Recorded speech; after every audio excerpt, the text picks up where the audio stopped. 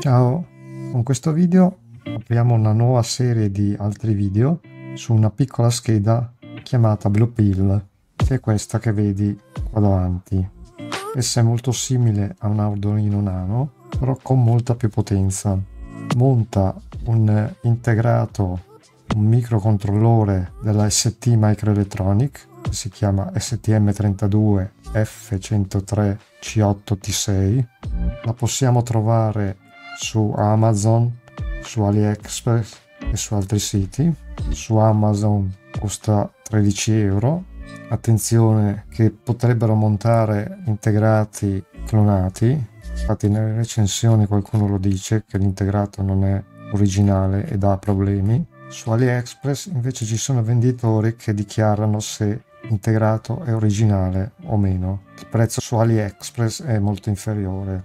3,84 contro 12,99 dopo bisogna vedere i tipi di spedizione a secondo del venditore ad esempio questo qui ha una spedizione gratuita e gli altri hanno un prezzo più basso e fanno pagare la spedizione ce ne sono due modelli con C8 finale e CB finale il CB finale ha 128k di memoria flash il core del microcontrollore è un ARM Cortex M3 con una frequenza di clock di 72 MHz e un LQFP a 48 pin, 64 KB di flash e 20 KB di RAM.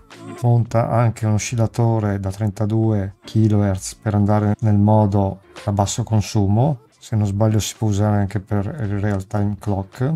Funziona a 3,3 V, ha dei pin compatibili col 5 V, dopo li vedremo ha già al suo interno il regolatore per portare il 5 volt dall'USB a 3.3. È blu, infatti si chiama Blue Pill per questo motivo. Esiste anche una versione nera che si chiama Black Pill con dei piedini in meno. Andiamo a vedere le differenze con la T-Mega 328 che abbiamo usato finora con l'LD Micro. La T-Mega 328 lo troviamo su diversi Arduino, Arduino 1, Arduino Nano, eccetera, eccetera. I pin sono molti di più, che adesso andiamo a vedere. La cosa principale che differenzia le due schede, la Nano e tutto il mondo Arduino con la T-Mega 328, è l'architettura, che l'STM32 ha un'architettura ARM a 32 bit. I pin di I.O., di soli I.O., esclusi gli altri, sono 14 per l'Arduino e ben 37 per l'STM32. Il PWM 6 contro i 15, la risoluzione del PWM è ben 16 bit, ha 10 pin analogici con una risoluzione di ben 12 bit contro i 10 del nano. La flash memory è 64, quindi siamo al doppio, la SRAM molto di più, non ha la EEPROM, le quadroprom, perché di solito in ambito industriale, perché questi qui sono microcontrollori che si usano molto in ambito industriale e automotive, la EEPROM si mette esternamente in SPI o in quadro C. La velocità di clock è 72 MHz, funziona a 3.3 come ho detto prima, ha 3 UART seriali, ha 2 SPI, 2 quadro C, supporta il CAN che è un protocollo di comunicazione molto usato in automotive e nell'ambito industriale. Per programmarlo si usa l'ST-Link, si può anche usare un programmatore seriale su degli opportuni pin, oppure l'USB, però bisogna inserire un bootloader nel micro per poter usare appunto l'USB. Questo qui è un programmatore che troviamo su AliExpress a bassissimo costo questo qui è il programmatore originale ST-Link. Questo qui è lo schema di collegamento di questo programmatore che va anche ad alimentare la scheda.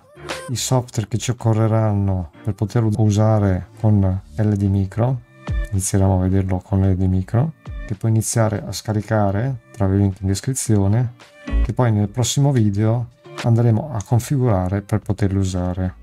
LD Micro bisogna scaricare questa versione qui modificata appositamente per i micro 32 bit. Sulla pagina di GitHub di questo link troverai anche una versione 6 e qualcosa.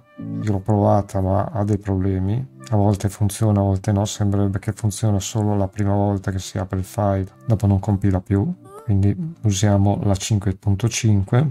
come infatti consigliano anche altri. Basta copiarlo in una cartella, quindi scompatti lo zip, lo copi in una cartella e lo chiami magari RD Micro 32 per differenziarlo da quell'altro degli ATmega, così ognuno avrà anche i suoi settaggi.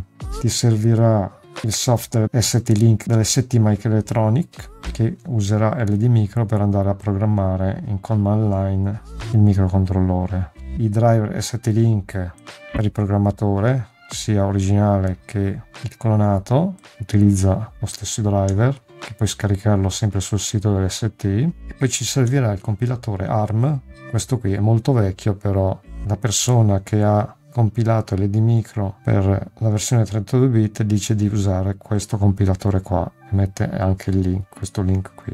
Io non ho provato versioni più nuove, potrebbero funzionare. Se ce l'hai già installata, prova.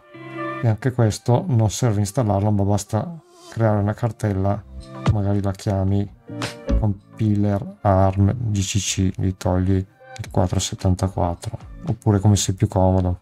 L'unica cosa che dopo questi link li dovrei mettere nel file.bat che andrà a lanciare LD Micro. Questi qui sono quattro file scaricati con le dimensioni. Il più grosso è questo qui, il compilatore, che è 103 mega, e gli altri sono piccolini. Dopo che avrai scaricato questi, ci vediamo nel prossimo video che faremo la configurazione dei file.bat e la prima programmazione con LD Micro di questa nuova scheda Lupil su cui svilupperemo poi anche un hardware PLC o PLC come dir si voglia. Su questo sito stm32base.org trovi molte più informazioni di quelle che ti ho dato io se vuoi approfondire. Con questo video è tutto, ci vediamo e sentiamo al prossimo video. Non mancare. Ciao!